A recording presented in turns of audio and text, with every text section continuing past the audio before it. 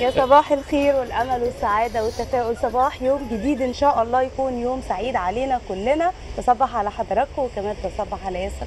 صباح الفل. صباح الفل. إن شاء الله يبقى يوم جميل على كل المصريين يا رب إن شاء الله. يا رب بإذن الله رغم درجة الحرارة المرتفعة وشوية رطوبة كده حلوين لكن إن شاء الله يا رب يكون يوم آه، سعادة وهنا علينا كلنا كمصريين. ونشوف بلدنا دايما في تقدم وقادره إن هي تتغلب على كل المشكلات اللي بتواجهها خصوصا في الفترة الحالية.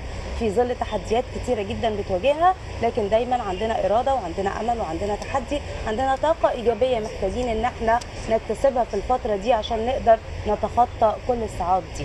امبارح تابعت النموذج المحاكاه اللي كان معمول للشباب على غرار الحكومة الجديدة وقد إيه كان في أفكار مبتكرة وقد إيه كان في يعني رؤية من الشباب تجاه المشاكل والقضايا الخاصه بالمجتمع. رأيك فيه وده الهدف من المحاكاة إن الشباب يت- يتعلم المشاكل الموجودة يتعلم إزاي يتم حلها. ونعرف كلنا إن في مشاكل بيبقى حلها صعب لازم أو بيبقى آه، محتاج قرارات جريئة أو إن إحنا نستحمل في ظل الظروف اللي إحنا فيها. فدي بادرة كويسة طبعا ويا ريت. تنتشر كمان وتبقى أكتر في صحيح خصوصا إن يعني اللقاءات لما بتكون مفتوحة ما بين ال- الحكومة الحالية وما بين رؤية الشباب اللي هم آه، دايما بيركزوا على المستقبل لأن هم مستقبل البلد دي فمحتاجين إن يكون في نوع من التواصل. وإذا كان عدد الشباب اللي كان موجود 500 لا إحنا عندنا شباب كتير جدا عندنا شباب عنده أفكار. يا ريت إن إحنا يكون في نوع من التواصل ما بين كل الشباب المصريين اللي قادرين إن هم يفيدوا البلد اللي قادرين إن هم يبتكروا في حل المشكلات. لأن في الوقت الحالي محتاجين للأفكار الجديدة اللي نقدر من خلالها نتخطى كل الصعوبات. محتاجين من كل مسؤول إن هو يكون دايما فاتح بابه. محتاجين إن هو يسمع وي- ويعني آه، يتقبل الأفكار ويتقبل النقد بشكل كبير جدا علشان في النهاية نصل لهدف واحد كلنا وهو الصالح العام.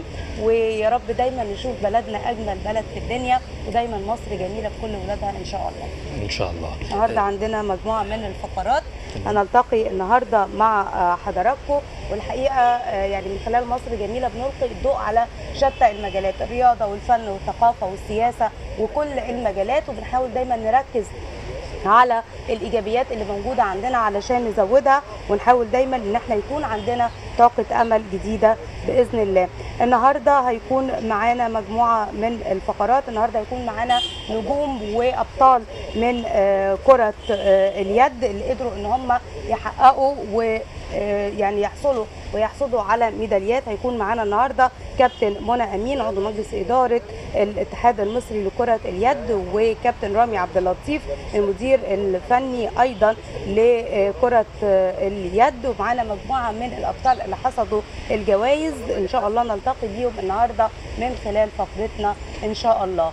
آه هيكون معانا كمان موضوع عن آه، كتب الأطفال وقصص الأطفال. تمام. آه، الكاتب آه، الدكتور نزيه هيبقى معانا النهارده عشان نتكلم معاه عن أكتر من آه، موضوع خاص بالأطفال وإزاي نقدر نوصل لهم بطريقة تبقى مفيدة ليهم.